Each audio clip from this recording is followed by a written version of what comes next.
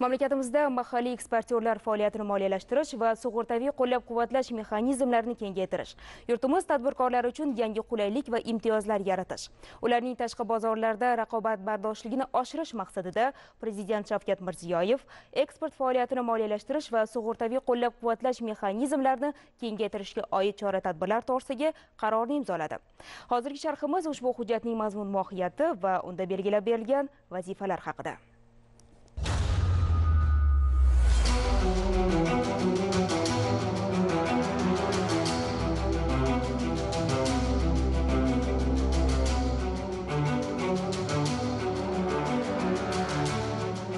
Mamlakatimizda eksport qiluvchilarni davlat tomonidan qo'llab-quvvatlash tartibi o'rnatiladi.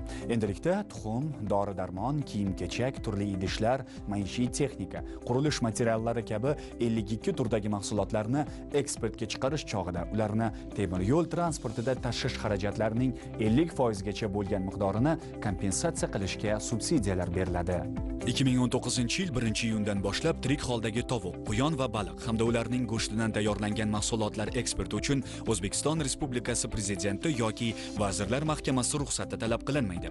Moliya vazirligi davlat bojxona qo'mitasi va davlat soliq qo'mitasi ikki oy muddatda eksport qiluvchi korxonalarga qo'shilgan qiymat solig'ini to'lashni kechiktirish imkoniyatini berish tartibini ishlab chiqadi va tasdiqlaydi. O'zbek invest milliy eksport import sug'urta kompaniyasining ustav jamg'armasi 221,6 milliard so'mgacha ko'paytiriladi eksportchi tadbirkorlarga boshqa ko'plab imtiyozlar berishni nazarda tutuvchi yangiliklarni o'z ichiga olgan eksport faoliyatini moliyalashtirish va sug'urtaviy qo'llab-quvvatlash mexanizmlarini kengaytirishga oid chora-tadbirlar to'g'risidagi qaror prezidentimiz tomonidan imzolandi.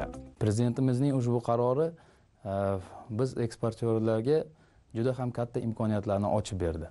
Xususan biz ko'p yillar davomida Э, xorijiy mamlakatlarda duch kelayotgan bir to'siqlarni yechimi desak bo'ladi. Eksport mahsulotlarimizni yetkazib berish e, da transport vositalari xarajatlarini ellik foizgacha bo'lgan e, miqdorini qoplab berish bilan birgalikda eksport oldi kreditlash e, sharoitlarini ko'zda tutilmoqda. Ushbu qaror o'zbekiston respublikasida eksport qiladigan korxonalar sonini yanada oshishiga Э, xorijiy mamlakatlarga o'zbekiston brendi ostida ishlab chiqarilgan mahsulotlarni soni va turlarini yanada ko'payishiga milliy iqtisodiyotimizni yanada yuksalishiga va aholi farovonligini oshishiga xizmat qiladi. Qarorga muvofiq vazirlar mahkamasi huzuridagi tadbirkorlik faoliyatini rivojlantirishni qo'llab-quvvatlash davlat jamg'armasi eksportyorlarga tijorat banklarining eksport oldi krediti summasining 50 foizigacha. Biroq 4 milliard so'mdan oshmaydigan miqdorda tijorat banklarining kreditlari bo'yicha kafillik beradi. Shu vazifalarni bajarish uchun jamg'armaga 2019-2020 yillar davomida davlat byudjetidan 50 milliard so'mgacha miqdorda mablag' ajratiladi. Shu qaror bilan bilan o'zbekiston banklar assotsiatsiyasi va tijorat banklariga mahalliy eksportyorlarni eksport va import operatsiyalarini moliyaviy qo'llab quvvatlash bo'yicha yangi bank xizmatlarini joriy etish bo'yicha ko'rsatmalar berildi.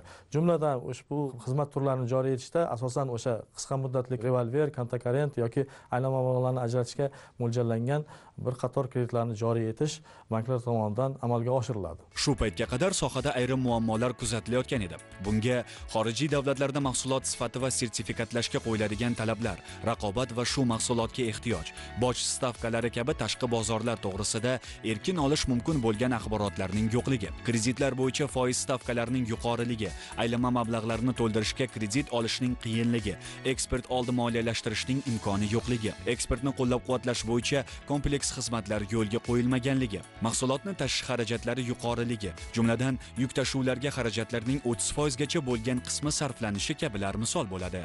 Shuningdek investitsiyalar va tashqi savdo vazirligi huzuridagi eksportni rivojlantirish agentligi mahsulotni eksportga tashish xarajatlarining bir qismini kompensatsiya qilish bo'yicha o'zbekiston respublikasi davlat byudjetining mablag'lari hisobidan subsidiyalar to'lash yuzasidan vakolatli organ hisoblanadi.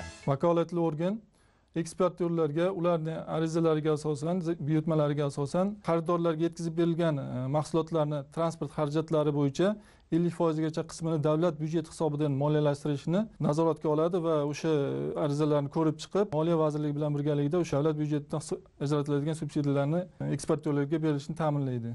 Ushbu qaror bilan Э, vazirlar mahkamasi qoshidagi tadbirkorlik subyektlarini qo'llab quvvatlash davlat jamg'armasi orqali tijorat banklari tomonidan mahalliy eksportyorlarga milliy valyutada ajratilgan shu jumladan aylanma mablag'larni to'ldirishga ajratilgan kreditlar E, bo'yicha ularning foizli xarajatlarini o'n foizgacha miqdorda chet el valyutasida kreditlar bo'yicha to'rt foiz miqdorigacha fond orqali qoplab berish ko'zda tutilmoqda. Mazkur qaror ijrosini ta'minlash orqali quyidagi natijalarga erishish ko'zda tutilgan. Respublikamizda mahsulotni eksportga chiqarish va davlat qo'llab quvvatlovining kompleks tizimi yaratiladi. Sertifikatlashning xalqaro tizimiga ega bo'lgan korxonalar soni oshadi. Misol uchun iso sertifikatiga ega bo'lgan korxonalar hozirgi bir ming uch yuz ellik yettitadan ikki ming ikki yuz o'ttiz to'qqiztaga halol sertifikatiga ega bo'lganlar 21 tadan 45 taga organik sertifikatini olganlar soni hozirgi bittadan 13 taga yetadi. Yuqori likvidli eksportga yo'naltirilgan mahsulotlar ishlab chiqarish hajmi sezilarli darajada ortadi. Mahsulot eksport hajmi ham o'sib temir yo'l tashuvlari yiliga 526 tonnadan 735 tonnagacha ko'payadi. Eksport operatsiyalarini imtiyozli shartlarda kreditlash va sug'urtalash uchun maxsus imtiyozlar berish bugungi kunda xitoy rossiya germaniya janubiy koreya kabi davlatlarning eksportni qo'llab-quvvatlash tajribasida juda muhim o'rin tutadi.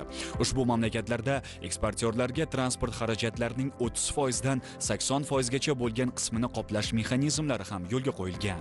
Ushbu qaror iqtisodiyotimizga birinchidan eksport hajmini oshirishga ikkinchidan eksport geografiyasini mahsulotlar turi kesimida kengaytirishga uchinchidan bu eksport hajmi oshirishi hisobidan e, ishchi o'rinlarini yanada ko'paytirishga eksportyor korxonalarimizni e, moddiy rag'batlantirishi hisobidan ularni eksportbop mahsulot ishlab chiqarishlarini yanada qo'llab quvvatlashga juda katta ta'sir qiladi.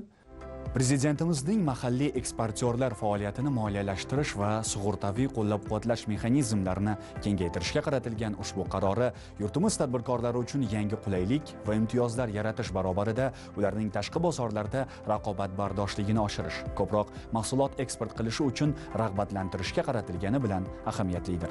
Shu bilan birga bu hujjat yurtimizda tadbirkorlar davlat tomonidan qo'llab-quvvatlanishining yana bir namunasi va amaliy tasdig'i bo'ldi.